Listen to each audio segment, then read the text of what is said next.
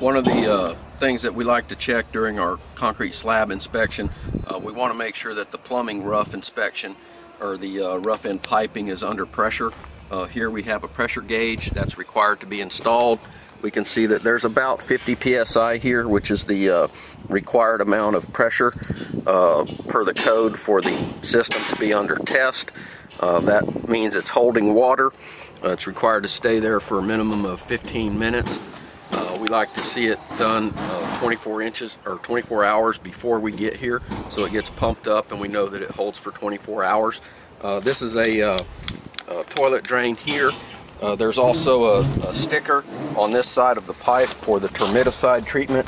Uh, that's just another uh, location where they where they'll put that sticker. So this verifies that. You can see the moisture underneath the vapor barrier when you're walking around on these slabs. Uh, this also is a good indication that we have a uh, chemical spray on this soil. The particular location that we're in today is uh, on a sandy ridge and there's essentially no moisture anywhere else on this entire uh, site. This is a, uh, a, a, a, fine uh, light brown sand.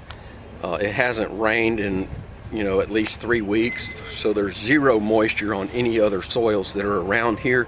When we see the the uh, condensation and the droplets underneath this uh, visqueen, uh, that's a good indication that that soil spray was uh, pretty adequate.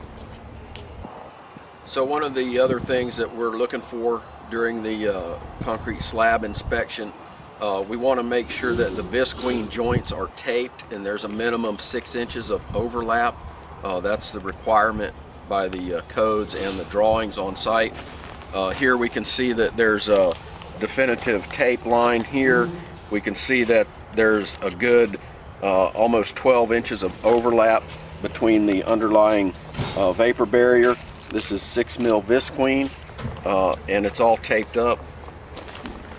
This is the chase for the refrigerant lines. Uh, this is where the air handler is going to be located. The uh, other end of this is on the opposite side of the house uh, over to our uh, right.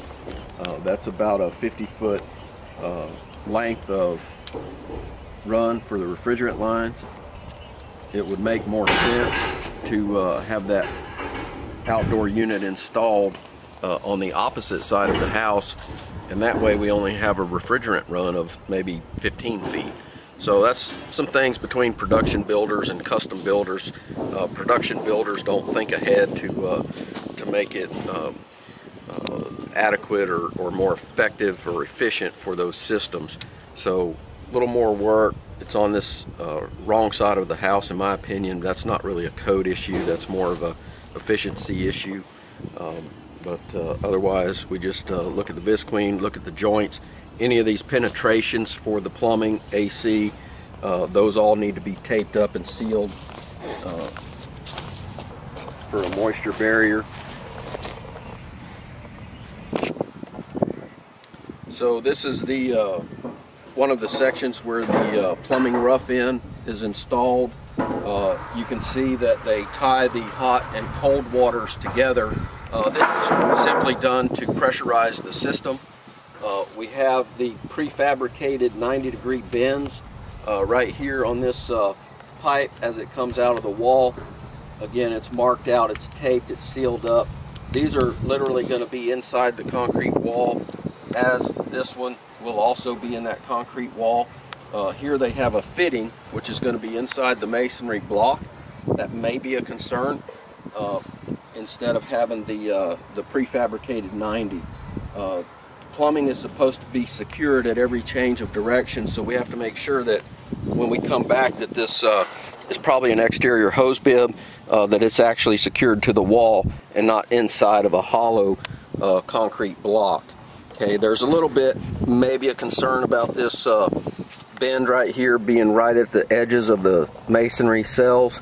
I think if this was probably a little bit lower, it'd be a little better, but they'll just have to deal with that uh, when they're doing the, uh, the block and finishing the concrete.